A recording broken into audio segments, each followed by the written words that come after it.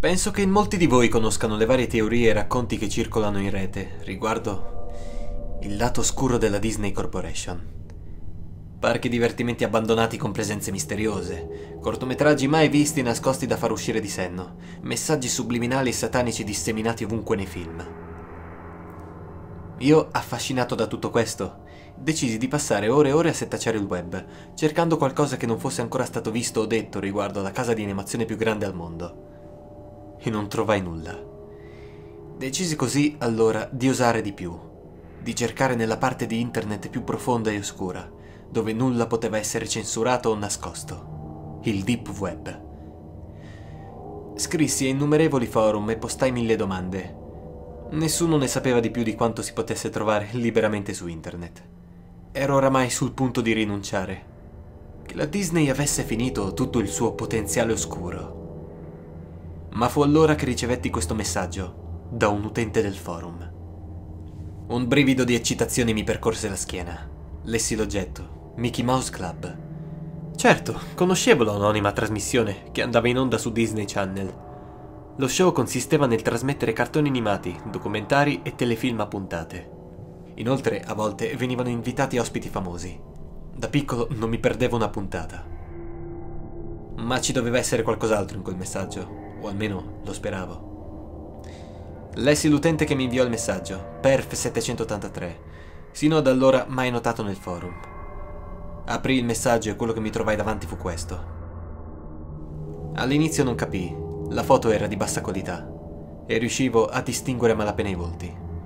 Le uniche cose leggibili erano la scritta grande, centrale Mickey Mouse Club e le altre due più piccole ai lati, Walt Disney's e Mouse Kitters ovvero i moschettieri di Topolino. Capì così che in quella foto c'era il primo cast completo del Mickey Mouse Club. Per chi non lo sapesse, nel programma Mickey Mouse Club è sempre presente un cast formato per la maggior parte da ragazzi e ragazze di età compresa tra gli 8 e i 16 anni, chiamati moschettieri di Topolino, e da due adulti che fungevano da presentatori, chiamati capi moschettieri. Grazie anche a qualche ricerca online riuscì a reperire tutti i loro nomi, tra cui quello dei due uomini in alto ai due lati, Roy Williams e Jimmy Dodd. Trovai anche foto che li ritraevano in balli, canti e giochi durante lo show. Non so perché, ma era tutto così inquietante. Capivo che c'era qualcosa che non andava. Non capii invece il perché dell'invio di quella singola foto, reperibilissima online, da parte di Perf 783 Spinto dalla curiosità sempre più crescente, gli chiesi per quale motivo mi avesse inviato quella foto e che cosa volesse dire. La risposta fu immediata. Biglietto per lo spettacolo speciale del Mickey Mouse Club al Carteri Theater. Erano le uniche parole del messaggio, accompagnato da questa foto. Ero sbalordito. Il Carteri Theater è, o perlomeno era, un teatro di San Diego famoso per i suoi spettacoli, se così possiamo definirli, un pose Insomma, un teatro per soli adulti.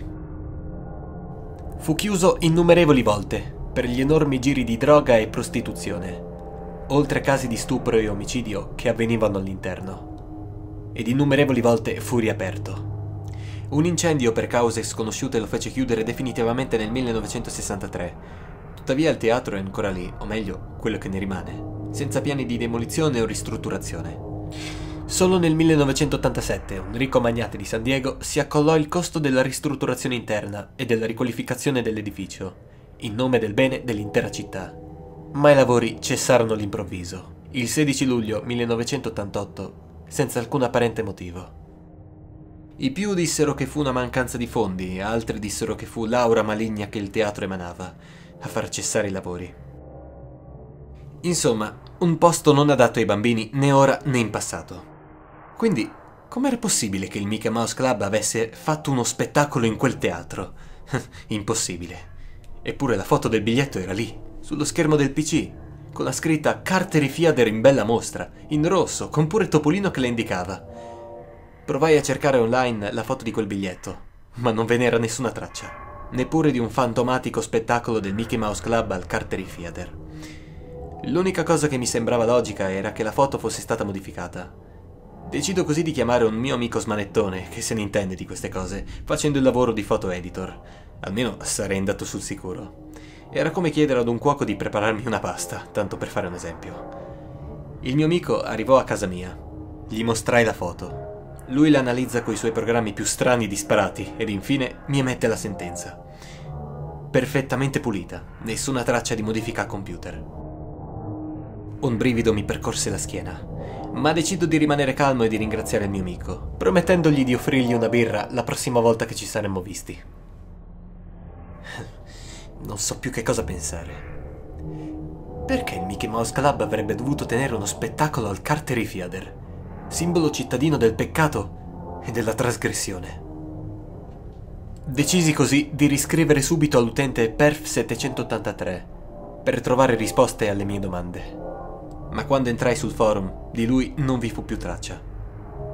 Ora la casella in cui mi era arrivato il messaggio di Perf783 appariva così.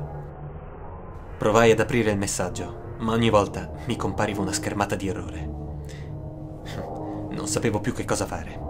Ero impaurito, ma eccitato allo stesso tempo. In fondo stava succedendo quello che cercavo da tempo. E il protagonista, l'eroe buono e impavido che smascherava la cattiva e malvagia Disney, ero io. Ma in fondo, che informazioni avevo? La foto del primo cast del Mickey Mouse Club, facilmente reperibile online, e la foto di quel biglietto, il Carter Theater. Ma non è lontano da casa, in fondo. Potrei provare a farci un salto e chiedere informazioni, esplorare il luogo.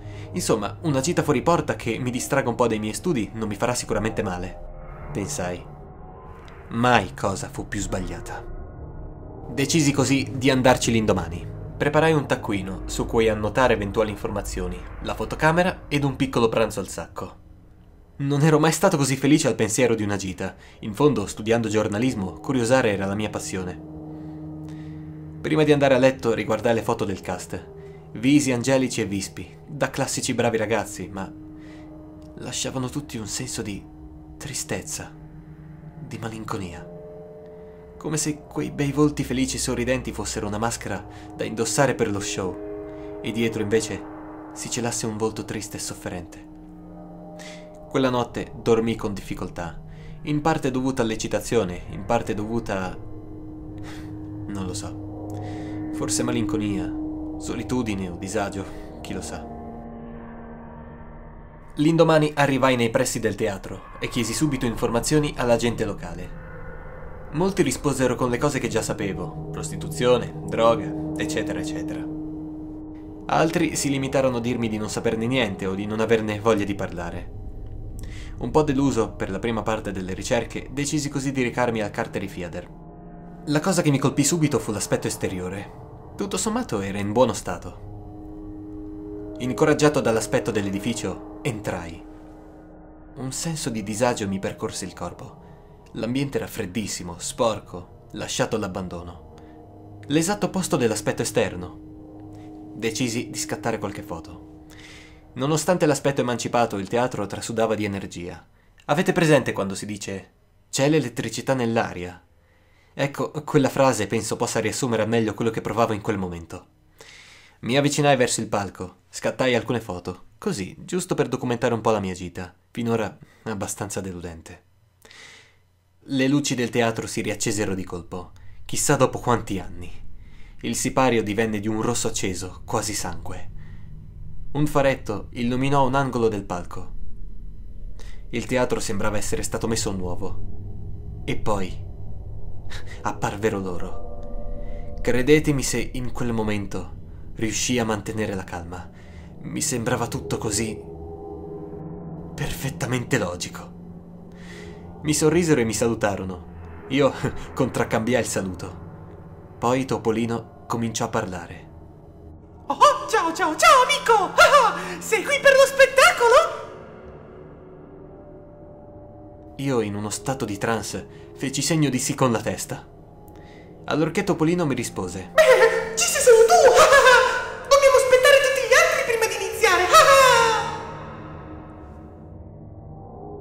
e dopo aver detto questo, scomparve, assieme a Minnie, nel nulla, come dissolvendosi. Il teatro ripiombò nel suo stato di emancipazione. Era, era come se mi avessero dato un colpo in testa quando mi svegliai dal mio stato di trance, realizzai quello che era appena successo. Era impossibile. Non potevo averlo visto. Doveva, e, e ripeto, doveva trattarsi di un'allucinazione. In questi giorni il mio cervello non ha fatto altro che pensare alla Disney e ora, grazie anche alla stanchezza accumulata, ha rigettato tutto fuori. Eppure ricordavo tutto così perfettamente. Le luci, il sipario e loro. Avevo tutto impresso come una fotografia nella mia mente. Dovevo andarmene. Che fosse successo qualcosa o no, in quel teatro tirava una brutta aria. Non prima però di aver fatto almeno una foto del teatro visto dal palco. Almeno sarebbe stata una foto davvero suggestiva. Magari, se fosse venuta bene, avrei potuto anche esporla ad un concorso di fotografia. Decisi così di calmarmi e mi diressi verso il palco. Arrivato, scelsi l'angolo adatto, impostai i vari filtri e regolazioni della fotocamera e mi preparai a scattare. Ma qualcosa mi toccò la spalla. Ero paralizzato. Stavolta ero lucido, non c'erano dubbi. Qualcosa aveva davvero toccato la mia spalla, ma non avevo il coraggio di girarmi.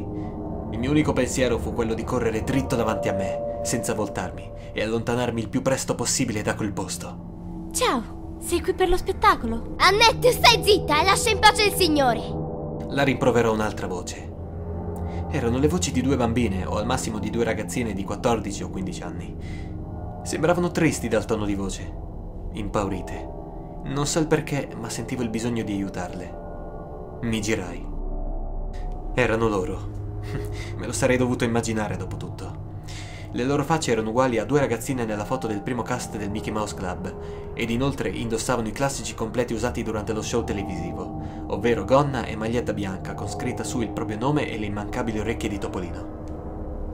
Non c'erano dubbi, erano due Mouse Keaters. Una di loro mi rifece la domanda. Allora sei qui per lo spettacolo? Feci cenno di no con la testa stavolta. Come prima ero in uno stato di semi-incoscienza e tutto mi sembrava ancora perfettamente normale. Come se stessi parlando con quelle ragazzine in un parco giochi invece che in un teatro abbandonato allo scatafascio. Comunque, dopo aver risposto negativamente alla loro domanda, incominciarono a parlare tra loro. Vedi, è come ti avevo detto io. Questo non è venuto per lo spettacolo. Deve essere il fotografo. Già, hai ragione. La platea è ancora vuota. Spero che non venga nessuno. Lo sai meglio di me, Annette, che è sempre pieno. Mi rivolsero lo sguardo. Ci puoi fare una foto? Disse quella che, in base al nome sulla maglietta, sembrava essere Annette. Allora, in stato di trance, contento di accontentare le due ragazzine, presi la fotocamera e scattai. Loro si misero in posa come facevano spesso durante il loro show. La foto che ne uscì fu la seguente. Ero perplesso.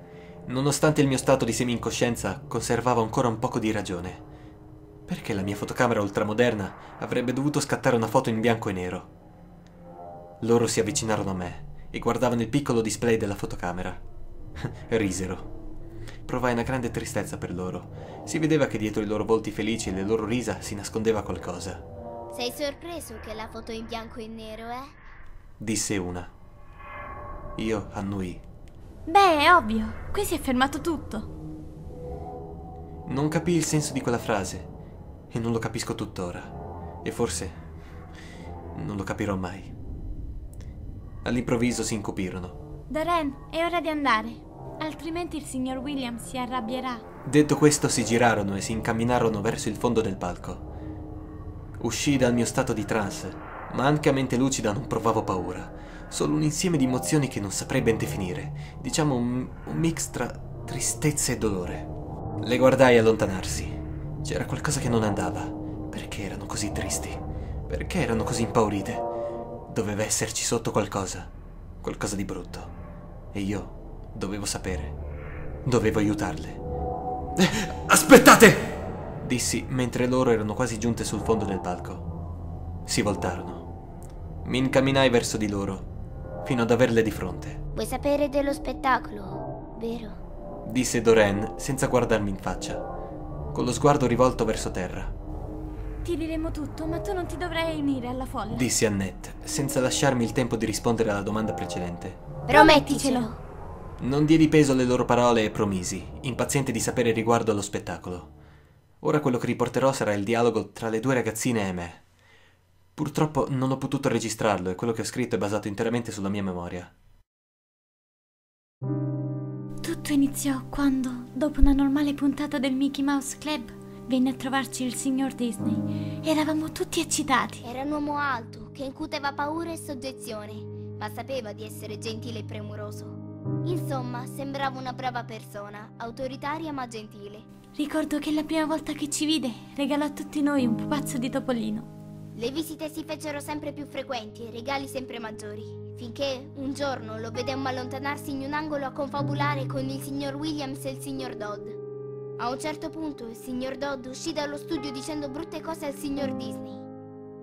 Non lo vedemmo più, mai più. Chissà che fine ha fatto il signor Dodd. Era così premuroso. Passata neanche una settimana da quell'episodio, il signor Disney ci fece una strana domanda, davvero inaspettata.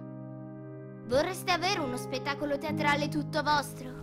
Ho impresso quelle parole nella mia mente. A quei tempi il mio sogno era quello di diventare una star del teatro, come il resto degli altri ragazzi. Sì, era già un sogno essere in tv, ma il teatro era tutt'altra cosa. Accettammo tutti senza pensarci due volte. Che enorme sbaglio che facemmo. Passarono alcune settimane finalmente arrivò il giorno dello spettacolo.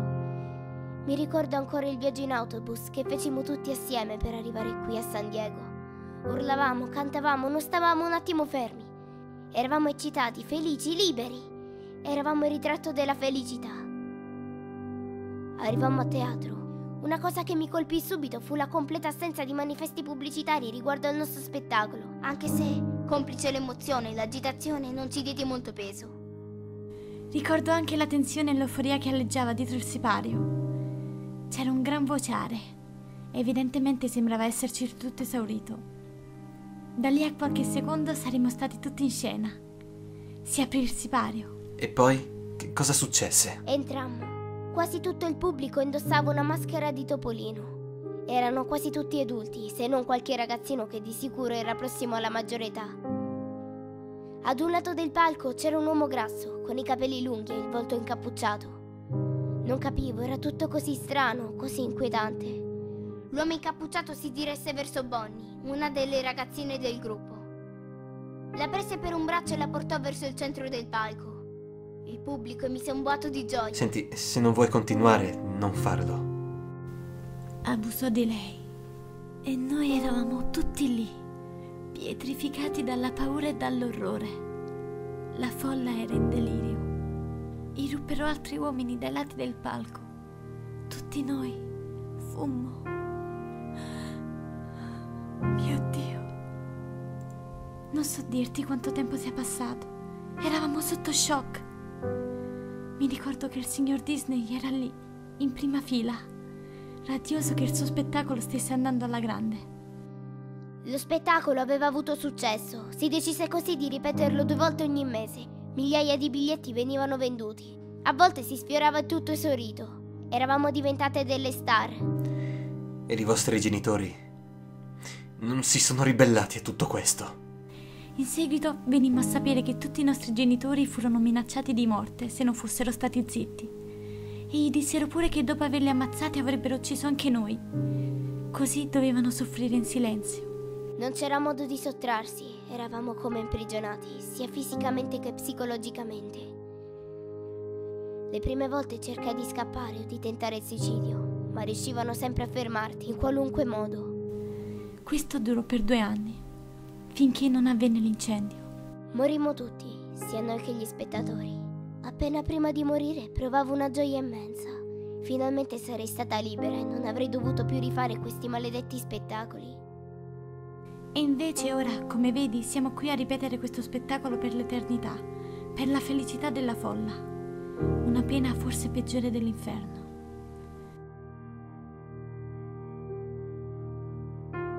Ero sconvolto. Non potevo credere alle mie orecchie. Senti un conato salire per il corpo. Vomitai, caddi a terra e piansi. Piansi finché non mi si esaurirono le lacrime. Nel frattempo le ragazzine mi guardavano con un'aria triste e malinconica, con il lieve cenno di sorriso sui loro volti, come se volessero consolarmi. Che, cosa hanno fatto per meritarsi tutto questo? Sono arrivati! Dobbiamo prepararci presto! disse con voce spezzata Annetta alla sua compagna. Le vidi correre e dissolversi verso il fondo del palco. Volevo almeno ringraziarle. Sentì una risata, poi un'altra ancora. Sentì delle urla. Poi sentì un boato assordante che cresceva sempre di più. Mi voltai. Erano arrivati. Lo spettacolo stava per iniziare. La paura si abbatté su di me. Non potevo vedere. L'avevo promesso anche alle ragazze. Io non dovevo essere lì. Mi alzai tremante, le gambe non vollero rispondere al mio comando di scappare. Guardai la fotocamera che impugnavo in mano. Ancora oggi non so con che coraggio abbia potuto farlo, ma scattai una foto alla platea. Corsi verso l'uscita. Un uomo mi fermò. Aveva la maschera di topolino. Mi invitò a sedermi. Il posto era lì, così invitante. Non desideravo nient'altro al mondo che sedermi lì. Mi sedetti. Mi pento ancora oggi di averlo fatto. Non ricordo nulla dello spettacolo. L'unica cosa che mi rimane è la foto della platea. Forse riuscirete a individuarmi tra il pubblico. So che ora non potrò mai più staccarmi da questo episodio. Tutto quello che vedo, tutto quello che sento, dovrò portarmelo dietro per il resto della mia vita. Ma questa è un'altra storia. Chissà, forse un giorno ve ne potrò parlare.